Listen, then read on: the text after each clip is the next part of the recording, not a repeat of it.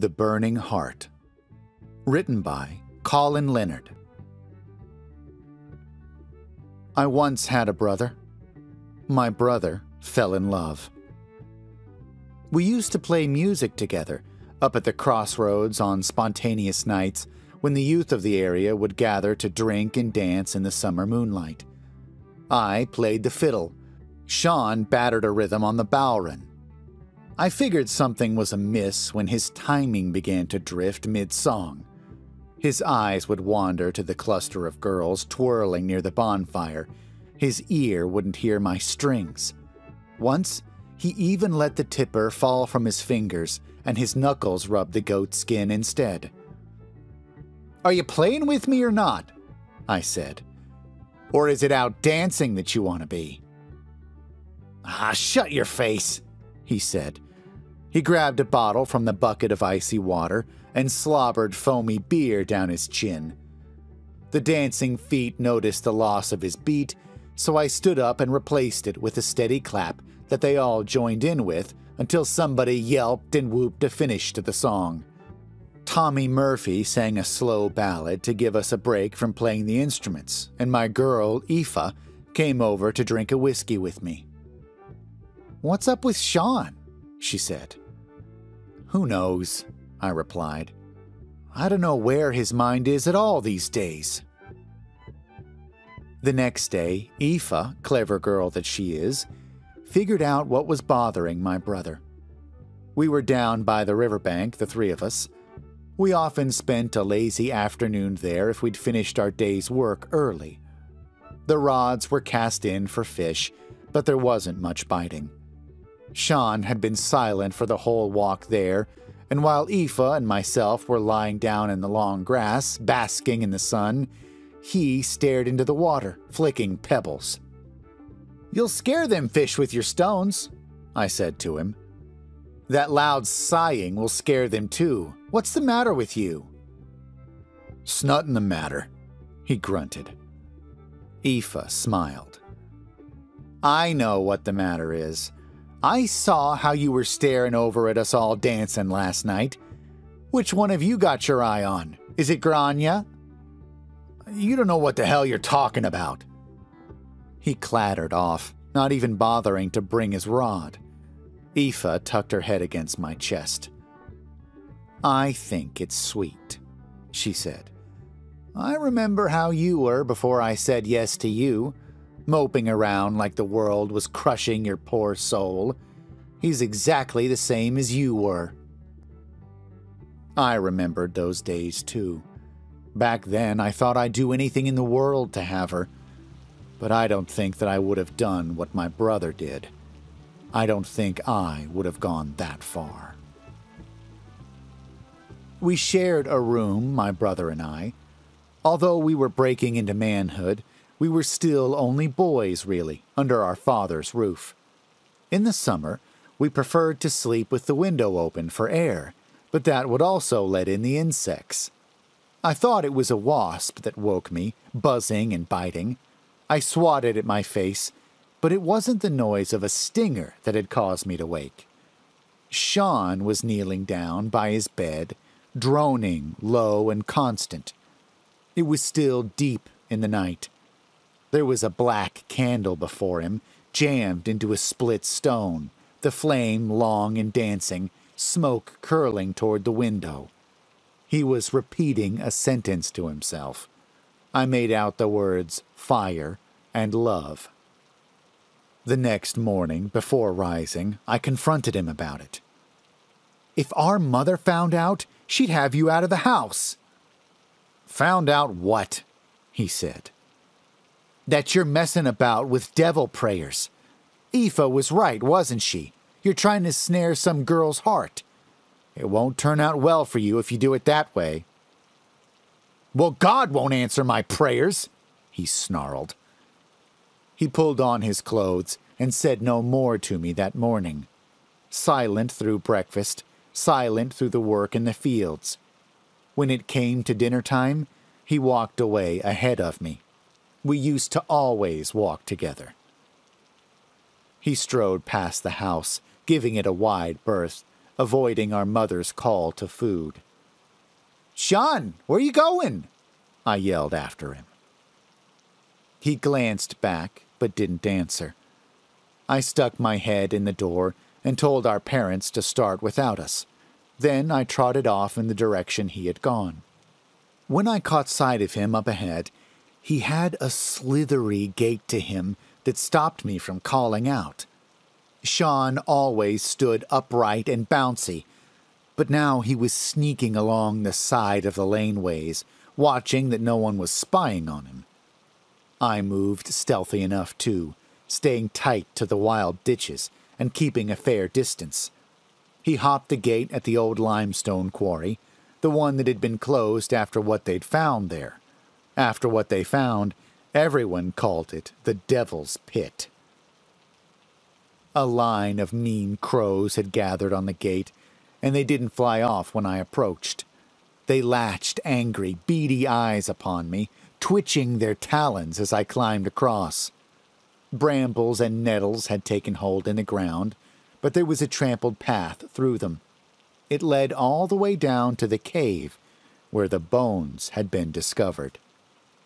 I'd been in there before years ago. Most of us had crept in at some stage as youngsters just to see what had frightened people so much that strong quarrymen would give up their jobs and the owner would let his site sit in ruin. Most of us only visited once. There were hundreds of bones, human and animal, all joined together to create a huge figure on a throne made of more bones. Skulls of small animals decorated the structure. A goat's skull was fixed on top as a horrible head with dark hollow eye holes. I peered in and saw Sean kneeling down at the fire pit that was dug before it. A flame caroused inside the pit. The black candles were laid out and burning. He had something in his hands that looked familiar. What are you doing with that? I said. His back turned stiff. I could have sworn I saw a spark of fire crackle from his fingers. That's Aoife's scarf. Why have you got it? He folded the green woolen material in his hands and stood to face me. You don't own her. She's not yours to keep. His eyes were like the ones the crows had fixed on me. Give that to me, now! I went to take it from him, and he punched me in the chest. There was a rattling from the bony statue. Go away home, brother! He punched me again, gritting his teeth. My heart is on fire. There's no putting it out. The wrongness of the cave and the sight of him inside it made my lips tighten and my breathing shallow. I thumped him once across the temple. A bone fell from the throne, made a clinking sound like a beak on a window. I grabbed him by the throat, too angry to use words, wanting to squeeze the badness out of him. He kicked at my legs and pulled at my hair. A breeze blew from deep in the cave, whistling ghostly through the gaps in the statue. He twisted my hair tight to my scalp and clawed at my cheek, but I kept choking him. His eyes bulged black and fierce at me. Finally, I threw him off, and he fell down gasping. I wanted to kick sense into him, take up those bones and batter him with them.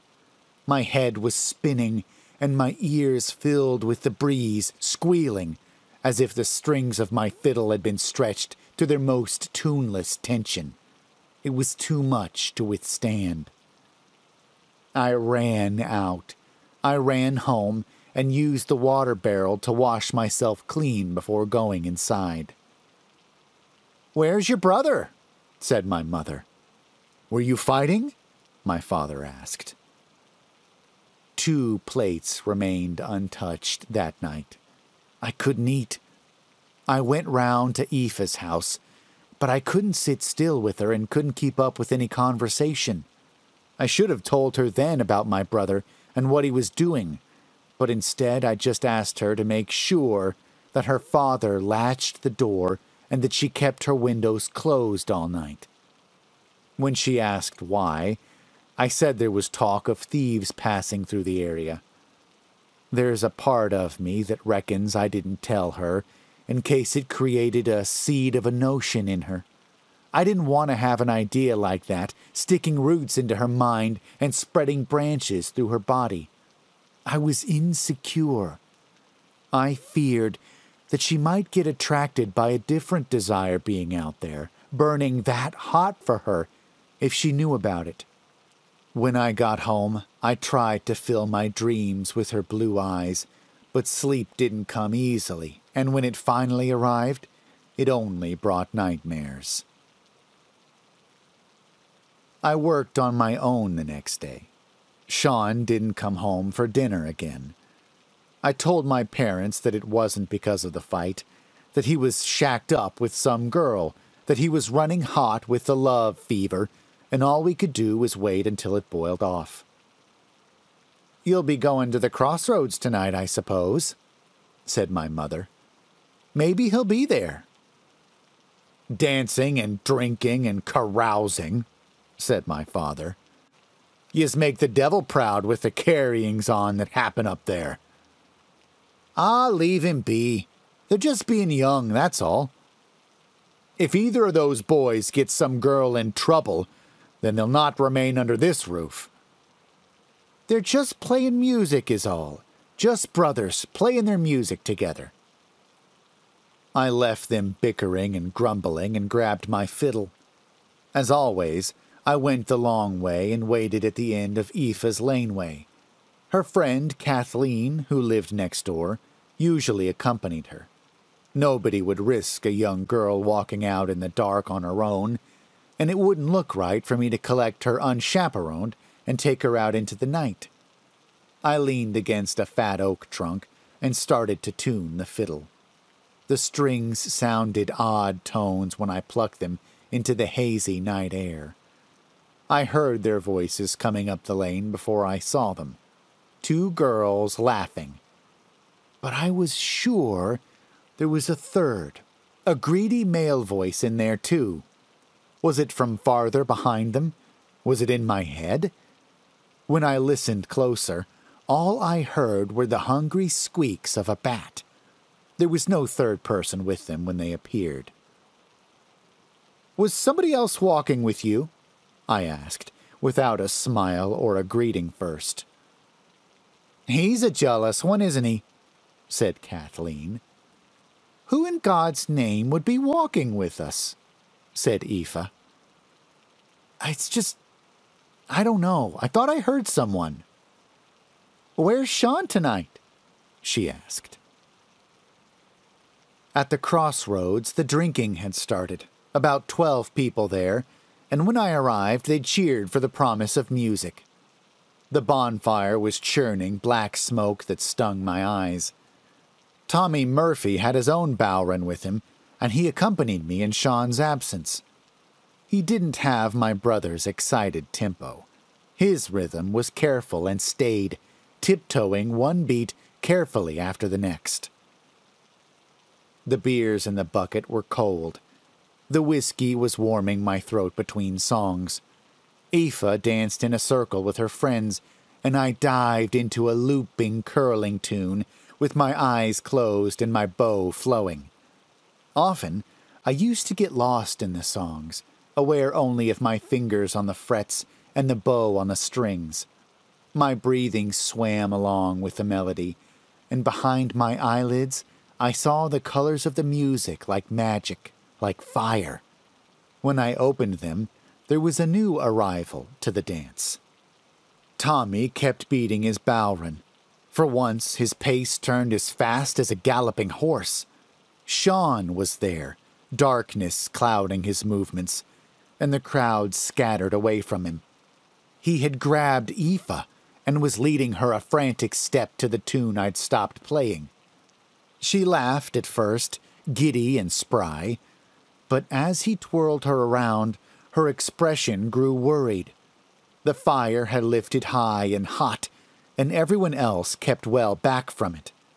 The flames rose and swirled and grew in the shape of a figure that danced with them. It must have stood ten feet tall, and I could see that Aoife was scared of it, and she was scared of Sean, but I couldn't get near them. Each time I approached, a blast of heat drove me away. It danced with them and laughed with them, and then it leaned in and it embraced them. Nowadays, people tell me about times they've seen my brother. Sometimes they hear him wailing in the fields near the old quarry, or screaming as if he's still on fire. If they catch sight of him, they tell me that his skin is red and blistered, that he has only frayed scraps of hair, that half his face is melted away. We don't know how he survives out there, what he eats or drinks, where he lays his ruined head, but he'll never be given solace in any house. The last time I saw him myself was at the funeral, a shadowed figure on the hill above the graveyard. I saw him through tears I thought would never stop. He ran off when she was lowered into the ground ashes to ashes, dust to dust. Most of her had been turned to ashes already that night she died. I once had a brother. My brother fell in love. I once had a girl.